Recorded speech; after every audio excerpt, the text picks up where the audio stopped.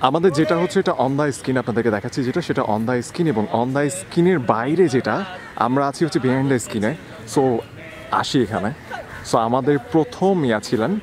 High আপু। আসসালামু আলাইকুম। হাই কি অবস্থা আপনার? কেমন লাগল? এই যে মোটামুটি একটু নার্ভাস নার্ভাস আবার একটু ভালো ভালো ফিলিং সব মিলিয়ে মোটামুটি। ফার্স্ট টাইম টিজিং মানে অন দ্য স্ক্রিনে হ্যাঁ ফার্স্ট টাইম আচ্ছা। এই ভাইয়া কি অবস্থা? আসসালামু আলাইকুম। আমরা সকাল থেকে মানে এখানে শুটিং করছি ভালো লাগছে।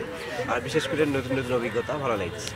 অলওয়েজ ও আচ্ছা থ্যাংক ইউ এবার আসি হচ্ছে আপুর কাছে। আপু মানে কি বলব তার অভিনয় দেখলে আপনারা বুঝতে পারবেন। কি অবস্থা আপু? অনেক ভালো অবস্থা। একটু ভয় পাইছিলাম কিন্তু তারপর মানে কি কি ব্যাপারে বলব আমি জানি না। অন দ্য স্ক্রিনে টিজিং লাইফে ফার্স্ট টাইম টিজিং না অবশ্যই না এটা কেমনি সম্ভব? লাইফে ফার্স্ট টাইম টিচিং যেহেতু বাংলাদেশে আছে অবশ্যই সবসময় দেখতেই হয়। সেটা ব্যাপার না কিন্তু এটা অ্যাক্টিং শ্যুট করা হচ্ছে সেজন্য তো একটু ভয় লাগছিল। ভয় না এটা আর কি প্রথম প্রথম যা হয়। তারপর করে দিচ্ছি হয়ে এবার যাই হচ্ছে আমাদের ডাইরেক্টর সাহেব আমাদের ভাইয়ার কাছে।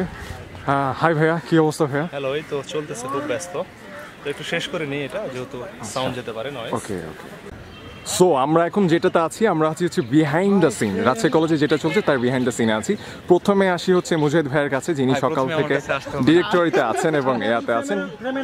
আপনারা জাস্ট ভাইয়ের হাসি দেখলে বুঝতে পারবেন এত কষ্টের মধ্যেও ভাইয়া কীভাবে হাসতে পারেন সো দ্বিতীয়ত আসি হচ্ছে আমাদের বুম ম্যান রাহুল যে সকাল আটটা থেকে ধরে আছে। কি অবস্থা রাহুল?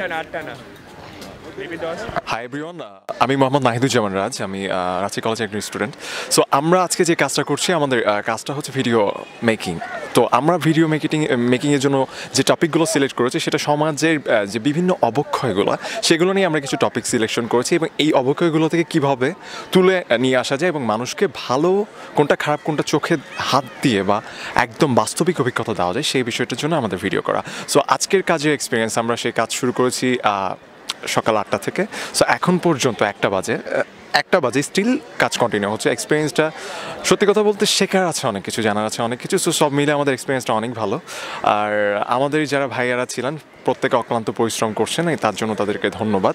আর আসলে পরিবর্তন দরকার, আমরা পরিবর্তনে বিশ্বাসী এবং পরিবর্তন চাই। অ্যান্ড পরিবর্তনটা প্রত্যেককে তার নিজ নিজ জায়গা থেকে আনতে হবে। সেক্ষেত্রে আমরা যে পরিবর্তনটা আনার চেষ্টা করতেছি, আমাদের জায়গা থেকে আমরা ভিডিও মেকিং করতেছি। সো ধন্যবাদ সবাইকে, ভালো থাকবেন।